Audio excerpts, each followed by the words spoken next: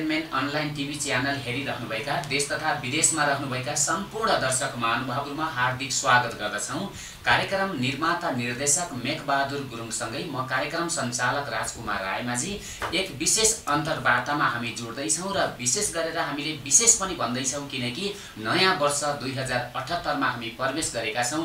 दुई हजार अठहत्तरको हार्दिक मङ्गलमय शुभकामना तपाईँ देश तथा विदेशमा रहनुभएका सम्पूर्ण सम्पूर्ण आमा बुवा दाजुभाइ दिदी बहिनीहरूलाई टक्र्याउँदै र आज हामीले कुराकानीलाई विशेष गरेर जोड दिन गइरहेका छौँ। यो दुई हजार अठहत्तर साल कस्तो छ भन्ने विषयमा रहेर हामीले कुराकानी गर्नेछौँ र आज हामीले विशेष अन्तर्वार्तामा हामीले कुराकानी गर्नको लागि हामी आज नेपालका सुप्रसिद्ध युवा ज्योतिषाचार्य श्री हरिहर खरेलज्यूको निवासमा उहाँले भाग्यफल हेरिरहने धेरैभन्दा धेरै हजारौँको भाग्यफल हेरिसक्नु भएको ठाउँमा उहाँकै निवासमा हामी यति बेला आइपुगेका छौँ। मेघबहादुर गुरुङसँगै म कार्यक्रम सञ्चालक राजकुमार रायमाझी र विशेष गरेर दुई हजार अठहत्तर साल कस्तो रहन्छ र तपाईँ हामी सबैलाई आशीर्वाद पनि दिनुहुनेछ गुरुले भन्दै आजको कार्यक्रमलाई अगाडि बढाउन गइरहेका छौँ।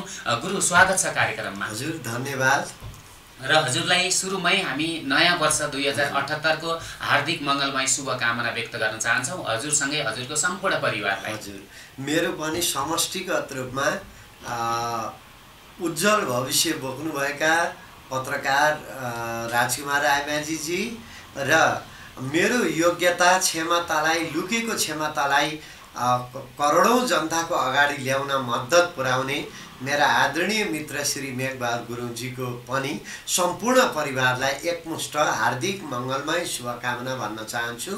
दुई हजार अठहत्तर साल शुभ रहोस् र साथै मेरा शुभचिन्तक सम्पूर्ण आदरणीय मित्रजनहरूलाई पनि दुई हजार अठहत्तर साल शुभ रहोस्। हजुरहरूको आँटेका कामहरू सफलता उन्मुख हुन् र सम्पूर्ण मित्रजनहरूलाई रोग व्याध केही पनि नलागोस् भन्दै आशीर्वाद दिन चाहन्छु र मित्रजनहरूले यो भिडियोलाई धेरैभन्दा धेरै सेयर गर्नुहुन र लाइक कमेन्ट गरिदिनु हुन हार्दिक अनुरोध गर्दै पुनश्च दुई हजार अठहत्तर सालको हार्दिक मङ्गलमय शुभकामना मेरा सम्पूर्ण आदरणीय मित्रजनहरूलाई। हजुर पक्कै पनि गुरुजीले जुन आशीर्वाद हामी सबै नेपालीहरू नेपालको लागि नेपालीहरू सबै सबैको लागि दिनुभएको छ पक्कै पनि लागोस् भन्ने कामना हामी गर्न चाहन्छौँ। र गुरु अब दुई हजार अठहत्तरमा हामी प्रवेश गरेका छौँ।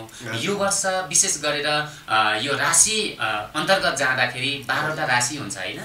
बाह्रवटा राशिमध्ये कुन कुन राशि भएका मानिसहरूलाई सबैभन्दा राम्रो छ फलदायक छ अथवा कुन कुनलाई घाटा नोक्सानी के कस्तो रहन्छ अहिलेको दुई हजार अठहत्तर साल यो राशिगत तरिकाले प्रश्न पारिदिनुहोस् न। हस् धन्यवाद राजकुमारजी मैले अब यो डाइरेक्ट बताउँदा केही कुराहरू मिस्टेक हुन सक्ने हुनाले मैले आफूले यसलाई रिसर्च गरेर लेखेर राखेको पनि छु।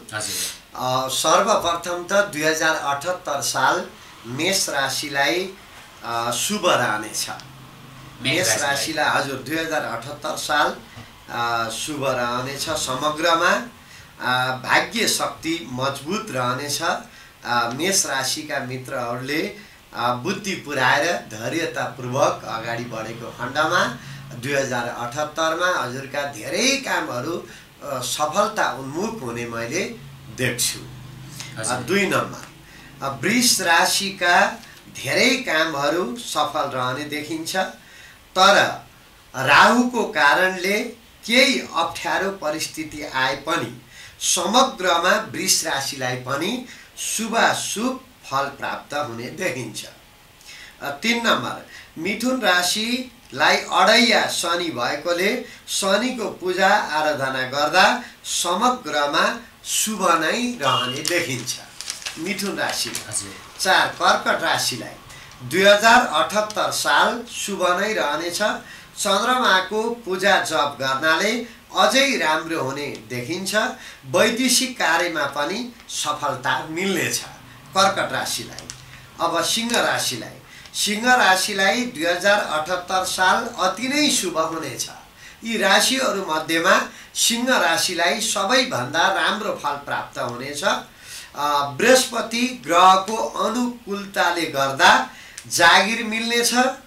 धेरै लामो समयसम्म जागिर खान नपाएर भौतारी रहेका मान्छेहरूले पनि दुई हजार अठहत्तर सालमा जागिर पाउने सम्भावना नाइन्टी नाइन देखिन्छ र लामो समय अब जस्तो बिस पच्चिस तिस वर्ष पुगेर पनि वैवाहिक जीवनमा बाँधिन नसक्नुभएका महिला वा पुरुषको पनि यो अठहत्तर सालमा वैवाहिक बन्धनमा बाँधिने देखिन्छ।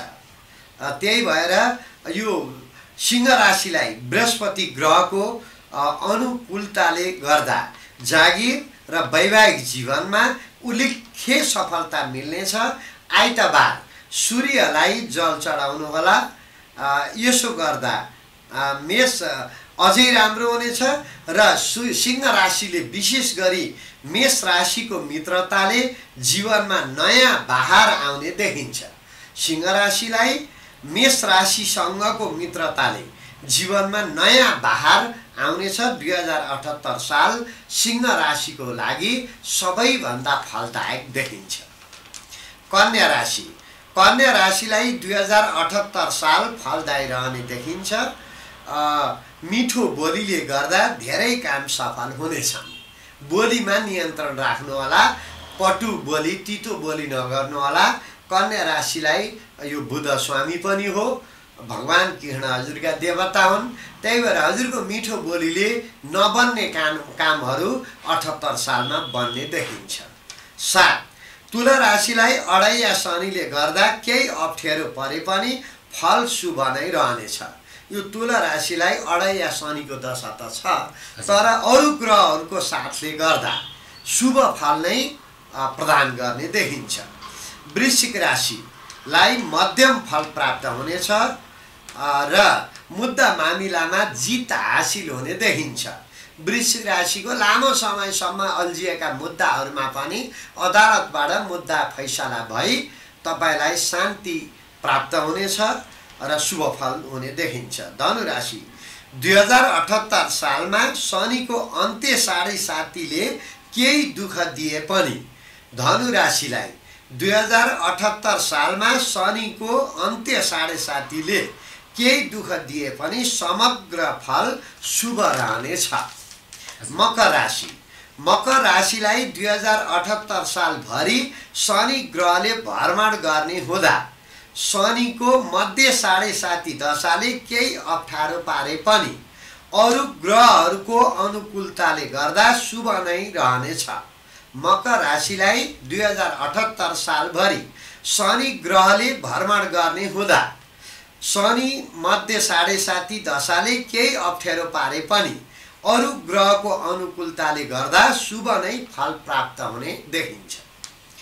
कुम्भ राशि। कुम्भ राशिलाई दुई हजार अठहत्तर सालभरि नै शनिको आद्य साढे साती दशाले दैनिक जीवनमा अप्ठ्यारो पार्न सक्छ। कुम्भ राशिलाई दुई हजार अठहत्तर सालभरि नै शनिको आद्य साढे साती दशाले दैनिक जीवनमा अप्ठ्यारो पार्न सक्छ। र यसलाई जित्नको लागि शिवजीको पूजा आराधना गर्दा शुभ फल रहनेछ। यो अप्ठ्यारोबाट तपाईँ मुक्ति पाउन चाहनुहुन्छ भने आराध्य देव भगवान् शिवजी पशुपतिनाथको पूजाआजा गर्दा तपाईँलाई उत्तम फल प्राप्त हुने देखिन्छ। मिन राशि। मिन राशिलाई दुई हजार अठहत्तर साल शुभ फलदायक नै रहने देखिन्छ। बिहिबारको व्रत लिएर ओम बृहस्पतै नमो नाम मन्त्र जप्दा अझै उत्तम फल प्राप्त हुने देखिन्छ। कालो वस्त्र कहिल्यै नलगाउनु होला क्रिम कलरको कपडाहरू लगाउँदा हजुरलाई अझै उत्तम फल देखिने देखिन्छ। समग्रमा दुई हजार अठहत्तर साल सम्पूर्ण आदरणीय मित्रहरूलाई शुभ रहोस्। यदि अप्ठ्यारो विघ्न बाधाहरू पर्यो भने ज्योतिषीय माध्यमबाट ती बाधाहरूलाई फुकाउनको लागि त हामी छँदैछौँ पके पनि गुरुलाई ती समस्याहरूलाई हजुर मेरो अन्ठानब्बे पाँच दस नब्बे पाँच सय पैँतालिस युवा ज्योतिष श्री हरिहर खरेल ज्योतिष पेज लाइक गरेर मित्रहरू मेरो सम्पर्कमा आउनु सक्नुहुनेछ। फेसबुकमा युवा ज्योतिष श्री हरिहर खरेल अन्ठानब्बे पाँच दस नब्बे पाँच सय पैँतालिस।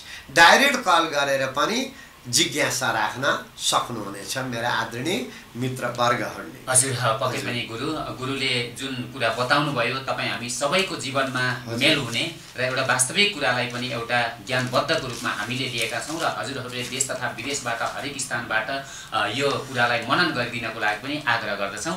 र गुरु अहिले जुन हामीले जस्तो बाह्रवटा राशि हुन्छ होइन हरेक मानिसहरू सबैको जम्मा बाह्रवटा राशि अन्तर्गत चलिरहेको हुन्छ ग्रहदशाहरू सबै।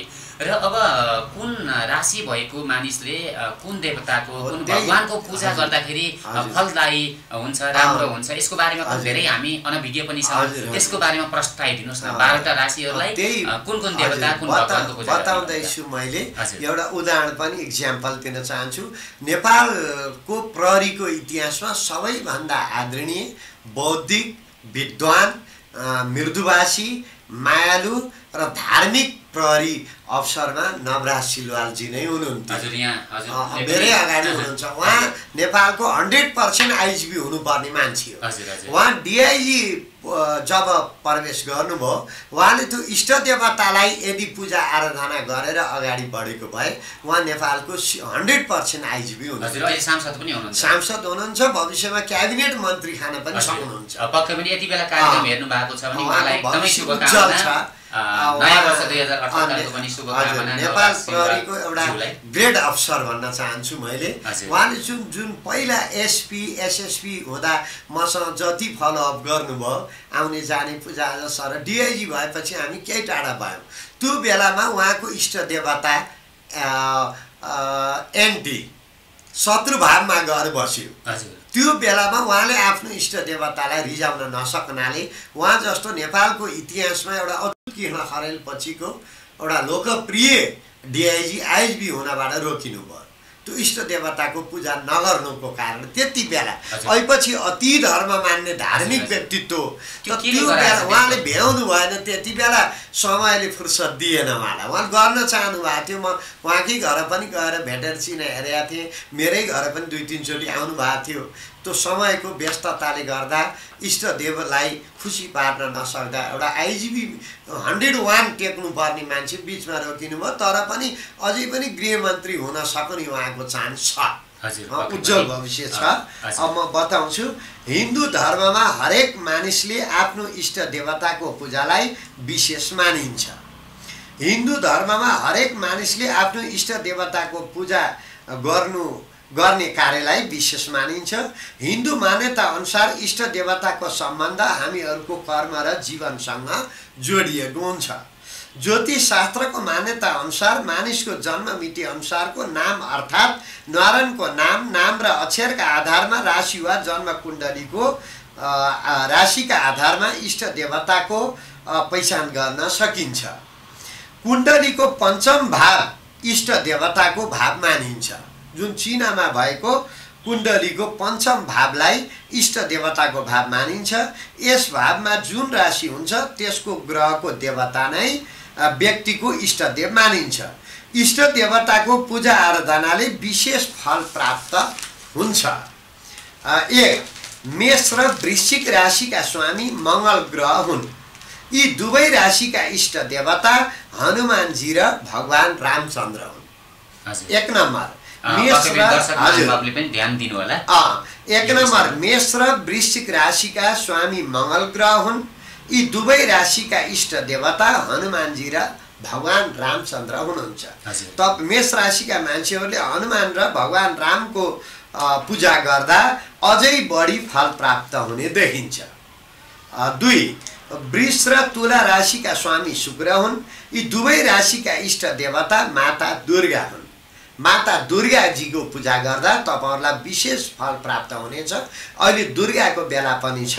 यो बेलामा दक्षिणकाली प्लान्चोक भगवती जहाँ जान सक्नुहुन्छ गएर भद्रकाली जहाँ नजिक हुन्छ देवी दुर्गा माताको पूजा आराधना गर्दा वृष राशिलाई अझै उत्तम फल प्राप्त हुने देखिन्छ।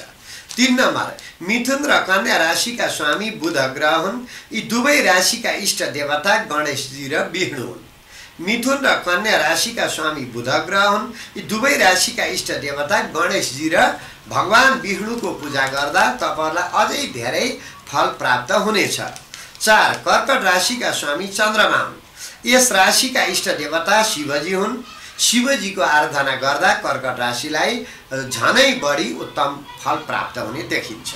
पाँच सिंह राशिको स्वामी सूर्य भएकाले यस राशिको इष्ट देवता हनुमान र माता गायत्री हुन्। सिंह राशिको स्वामी सूर्य भएकाले यस राशिको इष्ट देवता हनुमानजी र माता गायत्री देवी हुनुहुन्छ। हनुमान र माता गायत्रीको जप आराधना गर्नाले सिंह राशिलाई अझै उत्तम फल प्राप्त हुने देखिन्छ। छ धनु र मीन राशिको स्वामी बृहस्पति हो। छ धनु र मीन राशिको स्वामी बृहस्पति हो। इष्ट देवता विष्णु र लक्ष्मी माता हुन्। धनु र मीन राशिको स्वामी बृहस्पति भएकोले इष्ट देवता विष्णु भगवान् र लक्ष्मी माता हुनुहुन्छ। त्यही भएर धनु राशिले विष्णु र लक्ष्मी माताको पूजा गर्दा धन लाभ र दीर्घायु शैक्षिक क्षेत्रमा उत्तरोत्तर प्रगतिको बाटो भेटिनेछ। सात मकर र कुम्भ राशिको स्वामी शनि इष्ट देवता हनुमानजी र शिवजी हुन्। सात मकर र कुम्भ राशिको स्वामी शनि हो। इष्ट देवता हनुमानजी र शिवजीको पूजा गर्दा उत्तम फल प्राप्त हुने देखिन्छ। यसरी सबै राशिहरूले आफ्ना इष्ट देवताहरूको पूजा आराधना गर्दा उत्तम फल प्राप्त हुनेछ। एक त हिन्दू धर्मअनुसार सबै देवताहरूको हामीले पूजा आराधना गर्नु नै पर्छ। त्यसमा आफ्ना हजुर विशेष आफ्ना इष्ट देवताको आराधना गर्दा अझै रोकिएका कामहरू घनीभूत तरिकाले अगाडि बढ्नेछन् र सफलताको शिखरमा चढ्न सक्नुहुनेछ। हजुर पक्कै पनि दर्शक महानुभावहरूले पनि यो कुरालाई मनन गर्नुभयो होला। कुन देवताको पूजा गरेमा राम्रो हुन्छ विशेष फल प्राप्त हुन्छ भनेर गुरुले प्रश्न पारिदिनु भएको छ। धेरै धेरै धन्यवाद दिन चाहन्छु गुरु।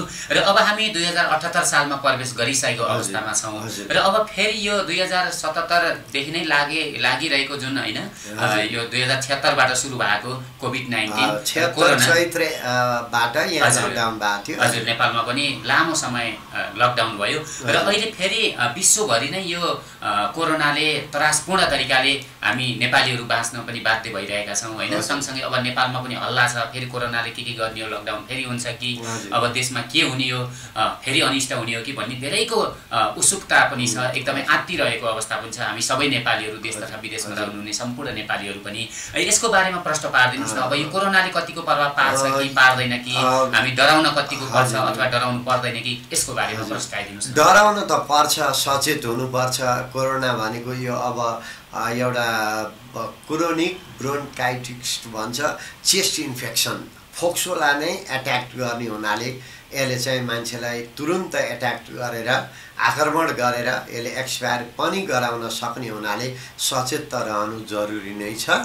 तर यसबाट डराएर एकदम आत्मबल गिराएर मान्छेले आफ्नो इम्युनिटी पावरलाई ध्वस्त गर्यो भने यसले आक्रमण गर्ने सम्भावना झन् बढिरहन्छ। तसर्थ खानपिनमा जस्तो चिसो कोल्ड ड्रिङ्क्सहरू नखाने बियर खाए पनि फ्रिज बाहिरको खाने कोक फेन्टा खाँदा पनि फ्रिज बाहिरको खाने मनतातो पानी युज गर्ने गर्दा कोरोना सहज रूपमा नियन्त्रण हुन्छ। र यदि कोरोना लागिहाले पनि त्यति डराउनु पर्दैन। हन्ड्रेडमा नाइन्टी पर्सेन्ट मान्छेहरूलाई अटोमेटिकली शरीरको प्रतिरोधात्मक शक्तिले यसलाई नियन्त्रण गर्ने क्षमता राख्छ। र एलोप्याथिक भन्दा आयुर्वेदिक पद्धति शास्त्र मात्रै नभएर यो आयुर्वेदसँग पनि जानकार हुनुहुन्छ यसलाई कोरोनालाई नियन्त्रण गर्नलाई अब हाम्रो प्रधानमन्त्री ओलीजीले भनेका कुरा पनि केही सत्यता छ। उहाँले भनेको जस्तो बेसार पानी बेसारमा पनि एन्टिबायोटिक तत्त्व हुन्छ। नुन राखेर गार्गल गर्दा घाँटीमा भएको टन्सिल लगायत ब्याक्टेरियाहरू नष्ट हुन पुग्छन्। यो नुन पानीले घाँटीलाई कुल्ला गर्न सकिन्छ बेसार पानी मिसाएर खान पनि सकिन्छ। यो बाहेक प्रभावशाली औषधि आयुर्वेदमा अश्वगन्ध क्याप्सुल झोल र चूर्णमा छ। अश्वगन्ध रिष्टलाई सुरुदेखि हामीले प्रयोग गर्न सकियो भने यो कोरोना लाई जित हासिल गर्न सकिन्छ र यो डाबर वैद्यनाथ गोर्खा लगायतका चेवन प्राहलाई एक एक चम्चा दुधसित बिहान बेलुकी खान सकिन्छ। र यसको लागि गुडुची भनेर एउटा क्याप्सुल पनि आएको छ। बिहान दुधी क्याप्सुल बिहान बेलुका मनतातो पानीसित खाँदा शरीरमा रोग प्रतिरोधात्मक शक्तिको विकास हुन्छ। यसको साथै मल्टिभिटामिनहरू पनि खानुपर्छ। शरीरलाई जस्तो तातो दुधहरू पिउने शरीरमा अलिकति इम्युनिटी पावर हामीले बढाउन सक्यौँ भने कोरोनाले हामीलाई आक्रमण गर्न सक्दैन। र अब पहिला जस्तो नेपालमा समग्र रूपमा कोरोनाले यो भयावह स्थिति फैलाउने म देख्दिनँ। विश्वभरबाटै कोरोना हट्दै गएको समय हो यो। भारतमा अहिले केही अगाडि आए पनि यो नियन्त्रणमा जान्छ। यो कोरोना भयावह भएर विश्वव्यापी पहिला जस्तै फुल्ली लकडाउन त्यस्ता सम्भावनाहरू छैन। हजुर भनेपछि हजुरले यो भविष्यवाणी गरिदिनु पर्यो कि अब देशमा लकडाउन होला कि नहोला भने लकडाउन त हुन सक्छ।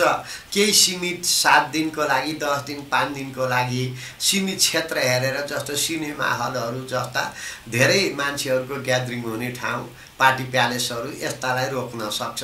पहिला जस्तो फुल्ली एक महिना डेढ महिना दुई महिना लकडाउनको सम्भावना देखिन्छ हजुर जे होस् हामी चाहिँ सजग हुनु सजग हुनु आफू एकदमै स्वस्थ रहनको लागि एकदमै हर तरहले खानपिनमा ध्यान दिनु पर्यो। पौष्टिक आहार दुधलाई प्रयोग गर्नु पर्यो। दही महीमा अहिले बल नगरौँ र चिसो पेय पदार्थबाट टाढा रहँदा यसको समाधान पनि समाधान छ। रहनेछ। हजुर। हजुर पक्कै पनि गुरु। र अब दुई हजार अठहत्तरको हामी यो अगाडि जुन अब भर्खरै हामी प्रवेश गरेका छौँ दुई हजार अठहत्तरमा नयाँ वर्षमा होइन?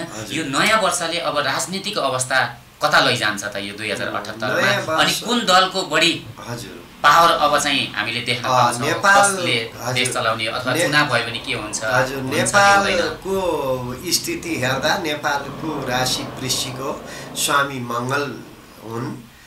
र यो नेपालको समग्र स्थिति हेर्दा अब यो त्यो लामो समय जस्तो पाँचै वर्ष सरकार टिकेर चुनाव हुने सम्भावना देखिन्न। यो अठहत्तर सालमा यो तोकिएको जुन पहिला भएको चुनावले जुन तोकेको पाँच वर्ष छ त्योभन्दा अगावै चुनाव हुने देखिन्छ र यो अहिले सरकार फेरबदल भए पनि। र समग्रमा त्यो आउँदो चुनावमा चाहिँ अब अहिलेको परिस्थिति हेर्दा र ज्योतिषीय मान्यताबाट हेर्दा पनि नेपाली काङ्ग्रेस धेरै अगाडि आउने देखिन्छ र अरू पार्टीहरू पनि त्यस्तो धराशय भएर खतमै हुने स्थिति छैन। आखिर सबै पार्टीहरू आफ्नो अस्तित्वमा अगाडि आउनेछन् र ग्रहको हिसाबले शेरबहादुर देउपाजीको र शशाङ्क कोइरालाजीको ग्रह धेरै अगाडि बलवान देखिन्छ। चातुर्यता एउटा बौद्धिक व्यक्तित्व अलिकति मान्छेलाई खेलाउन सक्ने क्यापेसिटीको धनी त ओलीजी बराबर नेपालमा नेता अहिले उहाँ जतिको त कोही पनि छैन। गिर्जाबाबु पछिको निडर र व्यक्तित्व भएको मान्छेलाई प्रभावशालमा पार्न सक्ने नचाउन सक्ने खुबी चाहिँ हाम्रो प्रधानमन्त्री केपी ओलीजीमै छ। हजुर भनेपछि चुनाव हुन्छ। चुनाव त हुन्छ चुनाव हुन्छ। त्यो तोकिएको जुन पाँच वर्ष अवधि टिक्दैन त्योभन्दा अगाडि चुनाव हुन्छ सल्लाहमै हुन्छ। नेपाली काङ्ग्रेस लगायत नेकपा जस्तो नेकपा एमाले उहाँहरूको सल्लाहमै चुनाव अगाडि हुन्छ। हजुर। चुनाव हुँदा काङ्ग्रेसको स्थिति धेरै बलियो भएर आउँछ। हजुर समग्रमा अब हाम्रो देश नेपाल र हामी नेपालीहरूको लागि दुई हजार अठहत्तर साल कस्तो छ त? अठहत्तर साल चाहिँ यो राजनैतिक खिचा तानीमै बित्छ। जब असी दुई हजार असीबाट बल्ल नेपालले सुख समृद्धिको पाइलामा अगाडि बढ्ने देखिन्छ। हजुर पक्कै पनि गुरु आज हामी रमाइलो कुराकानी गऱ्यौँ र विशेष गरेर राशिसँग सम्बन्धित कुराहरू पनि गऱ्यौँ देशको स्थितिको बारेमा पनि राजनीतिक अवस्थाको बारेमा पनि। अब हामी करिब करिब अन्तमा पनि आइपुगेका छौँ र अन्तमा फेरि हजुरलाई अनि हजुरको सम्पूर्ण परिवारजनलाई नयाँ वर्ष दुई हजार अठहत्तर सालको हार्दिक मङ्गलमय शुभकामना व्यक्त गर्न चाहन्छौँ। Prerana entertainment online TV channel परिवारको तर्फबाट मेघबहादुर गुरुङ अनि म राजकुमार रायमाझीको तर्फबाट। र अब अन्तमा के भन्न चाहनुहुन्छ? यति बेला देश तथा विदेशबाट हरेक स्थानबाट लाखौँ लाख दर्शक महानुभावले हाम्रो यो कार्यक्रम हेरिरहनु भएको छ। उहाँहरूलाई सम्पूर्ण मेरा आदरणीय मित्रजनहरूलाई म भन्न चाहन्छु कि हाम्रो प्रत्येक मान्छेको मुटुमा भगवान्को बास छ र हाम्रो जब मुटुबाट यो स्पन्दन चलिरहेछ त्यहाँ भगवान्को बास छ। त्यो निस्किसकेपछि हामी निर्जीव मुडमा परिणत हुन्छौँ। र एउटा धार्मिक मान्छेहरूले जहिले पनि प्रगतिको बाटोमा अगाडि बढ्ने मौका पाउँछन्। ईश्वर भगवान् कृष्णले पनि शास्त्रमा भन्नुभएको छ विश्वका प्रत्येक राजाहरूको मुटुमा म राज गर्नेछु। त्यही भएर नेपालमा पनि संवैधानिक राजतन्त्र बहुदलीय प्रजातन्त्र दुई हजार सत्तालिस सालको संविधान अगाडि बढेको भए आज देश धेरै अगाडि बढ्ने थियो। अझै पनि सम्पूर्ण राजनेताहरू नेकपा एमाले नेकपा नेपाली काङ्ग्रेसका राजनेताहरू जसले यो देशमा ठुलो सङ्घर्ष गरेर अगाडि आउनु भएको छ बुद्धि पुऱ्याएर राजालाई पनि सानो स्थान दिएर यो देवभूमि नेपाललाई सुख शान्ति र समृद्धिको बाटोमा अगाडि बढाउनु हुन अनुरोध गर्छु र नयाँ वर्ष दुई हजार अठहत्तर सालमा सम्पूर्ण मेरा आदरणीय मित्रवर्गहरूलाई हार्दिक मङ्गलमय शुभकामना दिँदै उत्तरोत्तर प्रगतिको कामना गर्छु र यो च्यानललाई सब्सक्राइब गरिदिनुहोला सेयर गरिदिनुहोला र लाइक गरिदिनु होला र सबै साथीहरूले मसित कन्ट्याक्टमा आउन चाहने साथीहरूले फेसबुकमा युवा ज्योति श्री हरिहर खरेल पेज टाइप गरी लाइक गरेर सेयर गरिदिनु हुन हार्दिक अनुरोध गर्छु। डाइरेक्ट भेट्न चाहेमा अन्ठानब्बे पाँच दस नब्बे पाँच सय पैँतालिसमा मलाई कल गर्नुहुन हार्दिक अनुरोध गर्दछु। हजुर यहाँले समय दिनुभयो। गुरुलाई धेरै धेरै धन्यवाद दिन चाहन्छौँ। फेरि पनि शुभकामना व्यक्त गर्दै अहिले हामी छुट्टिन्छौँ। हजुर दर्शक महानुभावहरू आजको कार्यक्रम तपाईँलाई कस्तो लाग्यो? पक्कै पनि रमाइलो लाग्यो होला ज्ञानवर्धक भयो होला भन्ने अपेक्षामा रह्यौँ र यतिन्जेल तपाईँले देश तथा विदेशबाट हरेक स्थानबाट कार्यक्रम हेरेर साथ दिनुभयो तपाईँ सम्पूर्ण दर्शक महानुभावहरूलाई धेरै धेरै धन्यवाद दिन चाहन्छौँ। र यदि कार्यक्रम हेरिसकेपछि हजुरहरूले सानो सहयोग गरिदिनु होला लाइक कमेन्ट सेयर अनि सब्सक्राइब गरिदिनको लागि पनि विनम्र अनुरोध गर्दै आजको लागि Prerana entertainment online TV channel परिवार हामी सम्पूर्ण बिदा चाहन्छौँ। हवस् त नमस्कार। तपाईँको बाँकी यात्रा सफल रहोस्।